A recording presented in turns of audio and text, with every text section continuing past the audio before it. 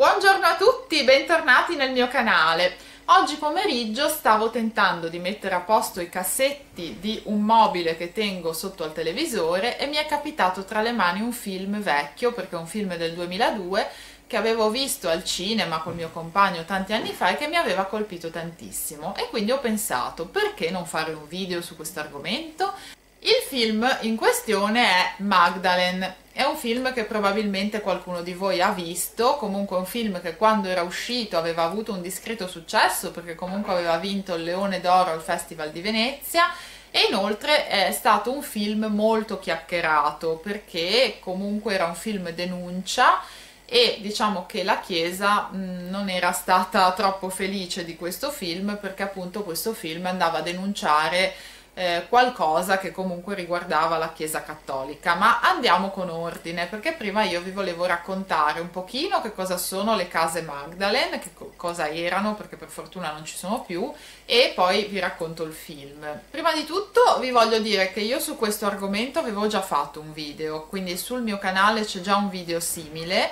però eh, è un video che avevo fatto proprio all'inizio quando io ho aperto il canale. Era uno dei primi video forse il quarto o il quinto video che avevo messo. Quindi insomma diciamo che è un video che non mi dà troppa soddisfazione perché comunque io adesso che ho il canale da un po' di mesi e carico video praticamente tutti i giorni quelli che avevo messo all'inizio quando li riguardo insomma mi metto un po' le mani nei capelli. Però se siete curiosi e volete andare a vederlo siete liberi di farlo quindi diciamo che qualcosina avevo già portato sul canale, però adesso in particolare volevo darvi qualche dettaglio in più e soprattutto farvi la recensione del film. Brevemente le case Magdalene erano dei conventi eh, che venivano gestiti da suore e all'interno di questi conventi c'erano delle lavanderie. In queste lavanderie lavoravano delle ragazze che erano le cosiddette ragazze perdute cioè ex prostitute, ragazze madri, tutte quelle ragazze che comunque non venivano ben viste dalla Chiesa Cattolica perché nel loro passato c'era un evento, un fatto, insomma c'era qualche cosa che mh, non era, eh, diciamo così, considerato un fatto da buone cristiane, quindi venivano messe in questi conventi e diciamo riabilitate, tra virgolette, per essere poi reinserite nella società.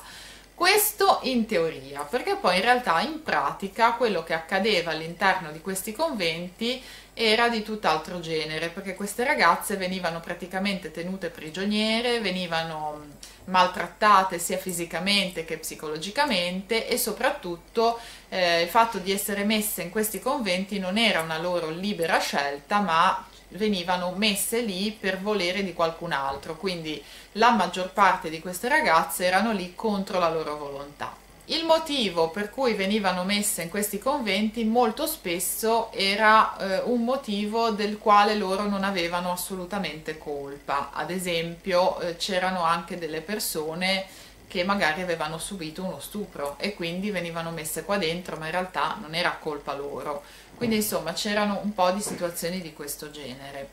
E questo film racconta appunto la storia di questi conventi, di queste case Magdalene. Eh, il film in particolare riprende diciamo la storia di tre ragazze, eh, quindi loro sono le protagoniste, però poi in realtà nel film si intrecciano anche le storie di altre ragazze, quindi comunque poi se guarderete il film vedrete che ci sono anche tante altre storie all'interno. Però eh, diciamo che le tre protagoniste vengono messe in questi conventi per tre motivi molto diversi tra di loro.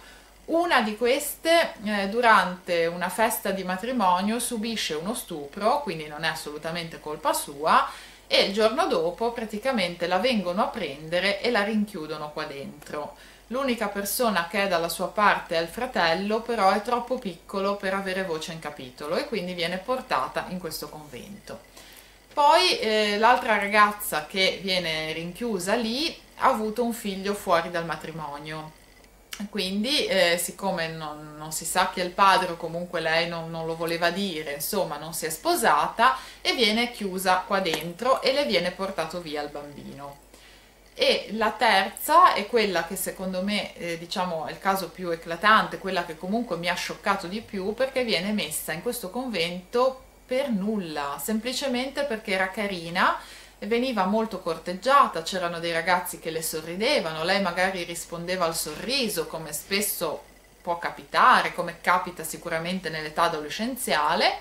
e per questo viene messa in questo convento. Infatti quando lei arriva lì non, non, capisce perché è lì, perché dice ma che cosa ho fatto? Cioè non mi è successo niente, non ho fatto niente, perché sono qui?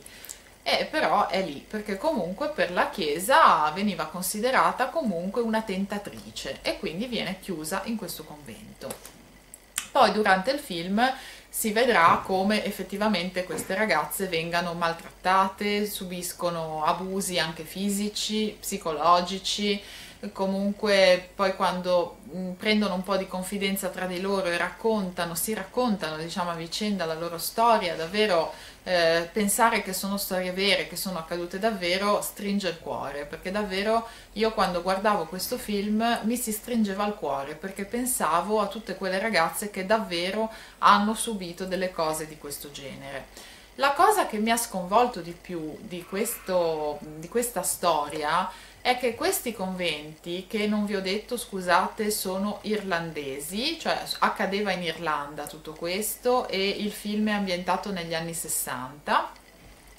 Eh, diciamo che questi conventi in Irlanda sono rimasti aperti per molto tempo e l'ultimo di questi ha chiuso nel 1996. Quando io ho letto questa cosa mi sono venuti i brividi perché io nel 1996 ero una ragazzina, ero un adolescente e quindi come tutti gli adolescenti facevo tutte quelle cose che per quel, mm, per quel tipo di società, per l'Irlanda cattolica di quel tempo erano considerate cose scabrose, cose che andavano punite, come ad esempio sorridere a un ragazzo piuttosto che uscire con un ragazzo, piuttosto che dare un bacio a un ragazzo, cioè tutte quelle cose normali che tutti gli adolescenti fanno e hanno fatto e che io nel 96 comunque facevo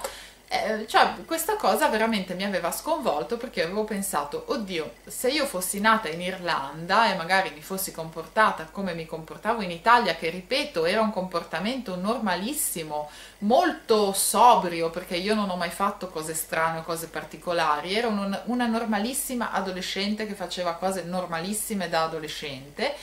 però eh, come dire mi aveva colpito molto perché avevo pensato magari in Irlanda tutto questo che per me è normale sarebbe stato considerato qualcosa di assolutamente inadeguato e scabroso e quindi magari sarei finita in uno di questi luoghi.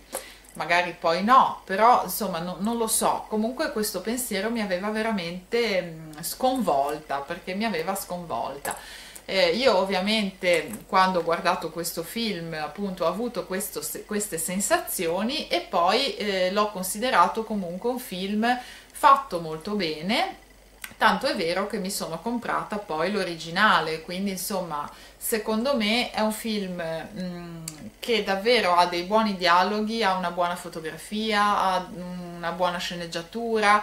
secondo me è davvero un film da vedere. Se non l'avete mai visto, eh, potrebbe essere un'esperienza interessante guardare questo film, anche per capire un po' quello che effettivamente accadeva nell'Irlanda di quel periodo storico. Quindi, insomma, è davvero mh, mm, un film che secondo me lascia qualcosa, perché se vi immergete nel film pensando che quelle cose sono accadute veramente, alla fine del film vedrete che mh, mm, avrete appreso qualche cosa, dico appreso anche dal punto di vista proprio emotivo, perché insomma a me ha fatto questo effetto e quindi ehm, io vi consiglio di vederlo se non l'avete mai visto. Credo che, non vorrei sbagliarmi, ma credo che si trovi eh, facilmente online, anche se in realtà non ho controllato, però ehm, mi sembrava di ricordare qualche anno fa di averlo visto addirittura su YouTube o comunque in streaming reperibile molto facilmente, quindi se volete vederlo penso che non, non dovrebbe essere troppo difficile comunque riuscire